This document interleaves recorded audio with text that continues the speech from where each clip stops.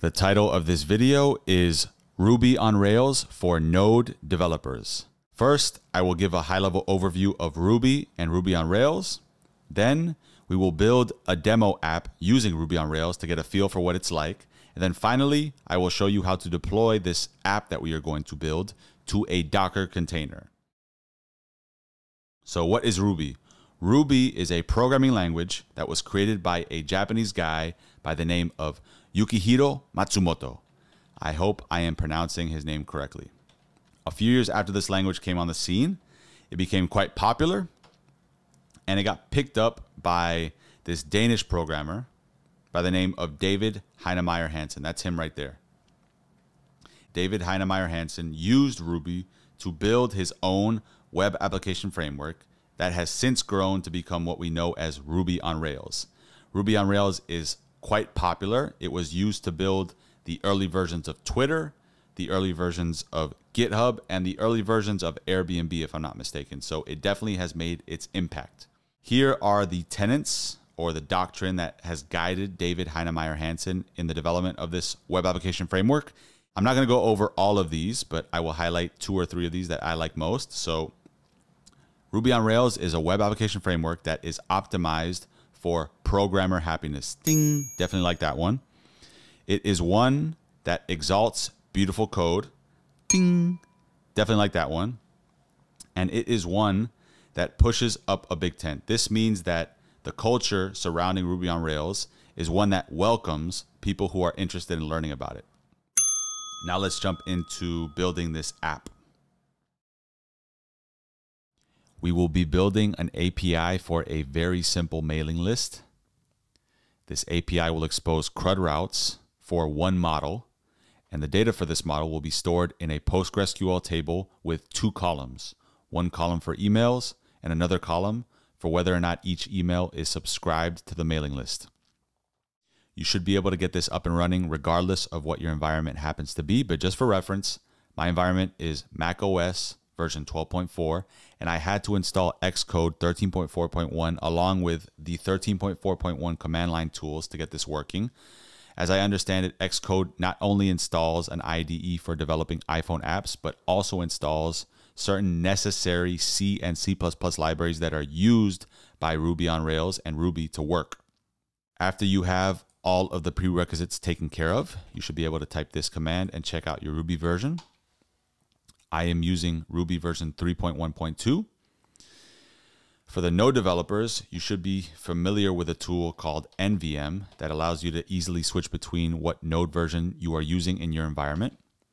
And NVM has a corresponding tool in the Ruby community called RVM, and it works with the almost identical API as NVM does.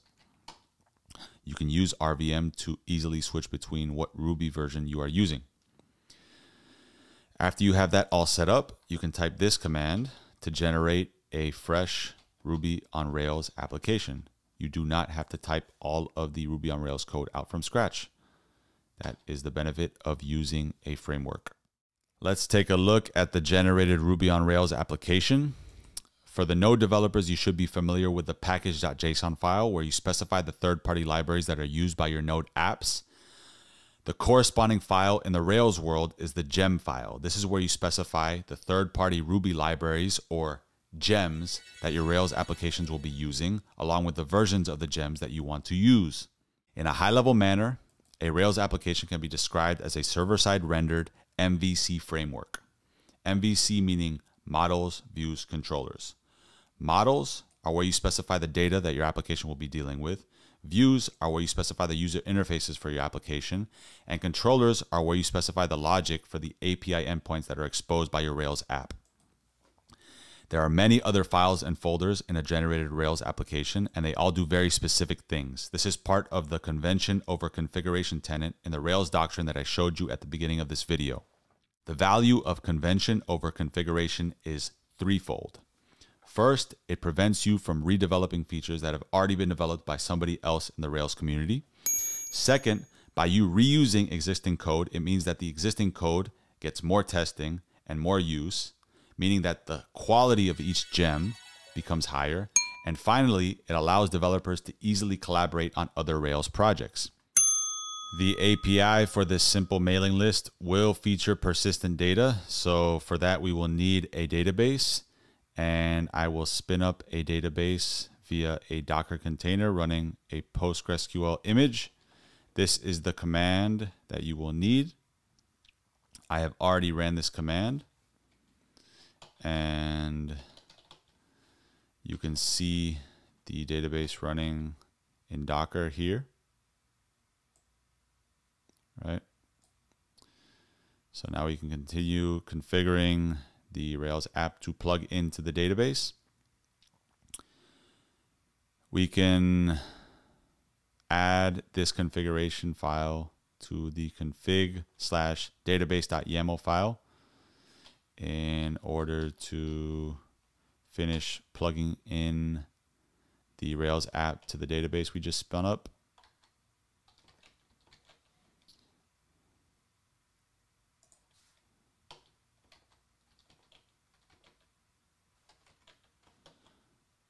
That should do it. And now you should be able to run Rails setup and it will create the databases for using the Rails app in development mode and test mode.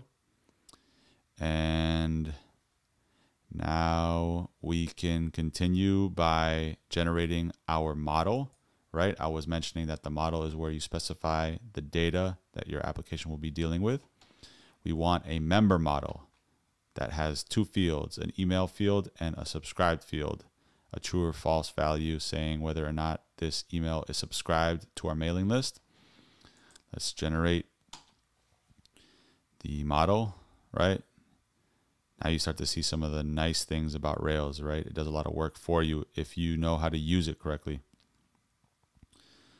And after you specify your model, you now want to mirror this data type in the database.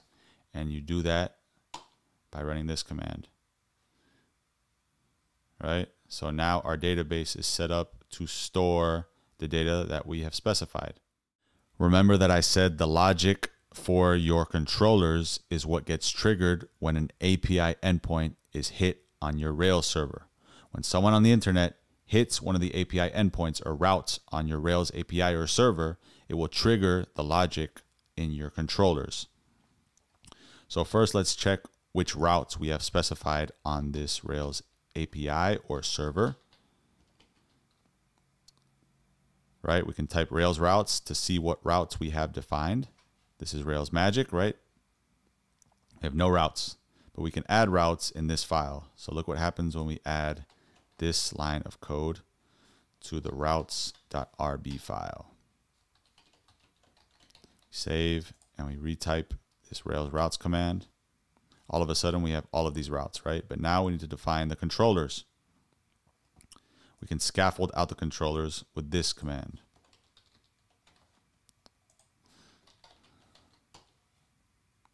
Rails will generate the controller files.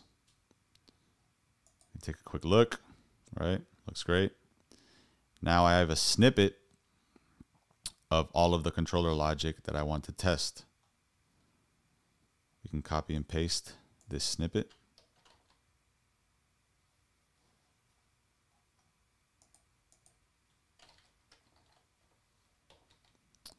We can run server and we can test this route, which should return a JSON object with a key of foo that has a value of bar. Foo bar, foo bar, right? Foo bar. Fantastic. Let me quickly show you how to debug in Rails, right? So if I put a debug statement here, look what happens when I hit the endpoint, right? Sorry, debugger, my bad, debugger, right? We get a debugging console here. And we can click C to continue and we get our value back, right? So that's how easy it is to use debugging. Let me show you the Rails console. So you can enter the Rails console like so. or you can just type C for short. And this will spin up a development environment for interacting with your application in various ways. It's mostly useful for getting data. For example, if I load this and then run this command, I can see all of the models that I have defined in my application, right? And I can query the class for all of the member data in the system. You can see that I've created one, two, three, right? I can create another one like so.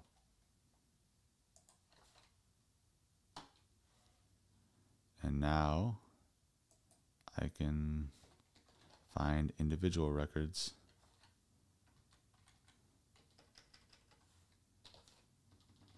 like so. Right? So that's the gist of the console. You can use it for other things, but it's mostly useful for getting data from your database. Now let's continue. I will paste in some more snippets. For example, this is a catch-all error handler for the controller. The controller inherits from this class. So can copy, paste that into the application controller, and then wrap up the controller logic for the members controller so that we have full CRUD capability on the members model. So now I can test this in Postman. I can create new members and I can query for the data. I can delete data. Right. Five, four,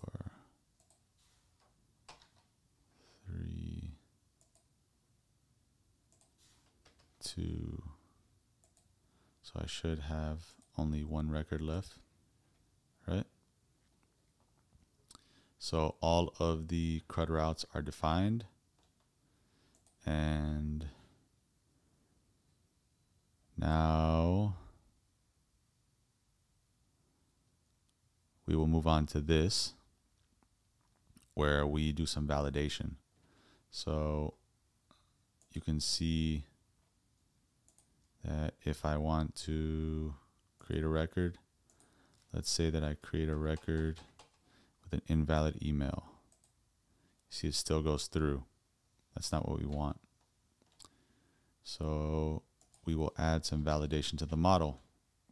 That's the controller. We want the model. So if I paste in these validations inside of the model, and then I try to add another record with an invalid email, we now get an error, right? That's what we want. So now I will wrap this up by adding some rate limiting and then quickly deploying this to a Docker container, and then that will be it. We need this gem to be added to the project. This is like installing a new npm package for the node folks. We find the gem file and we can add it anywhere. I will add it here and leave a little comment for rate limiting and then type bundle install. Sounds very familiar, doesn't it, Node folks? Then we add this file, initializers, rack attack.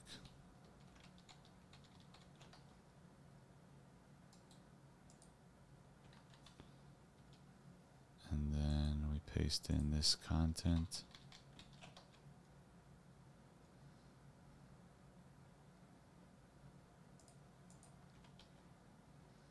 Right, so each IP address is limited to five hits on the API every 20 seconds. Let's call the get members endpoint twice, three times, four times, five times. Too many requests. Rate limited. Let's deploy this into a Docker container.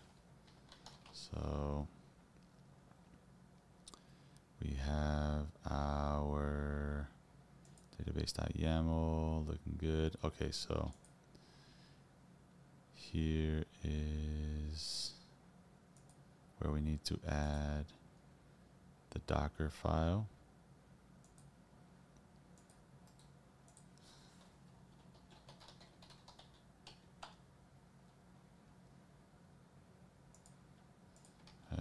Just copying this jazz. And then I'm gonna add docker compose.yaml.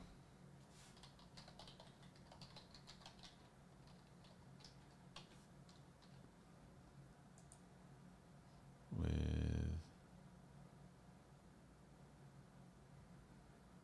this content.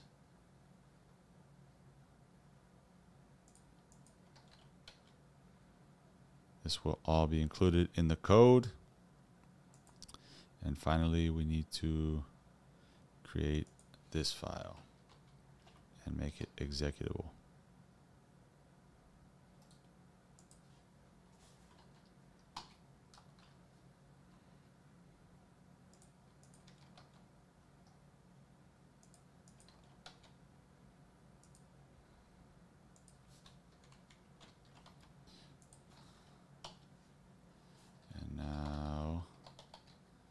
This should work. Docker compose up. Oops, we need to do one last thing, which is add the environment variable for Docker container that will house the Rails API.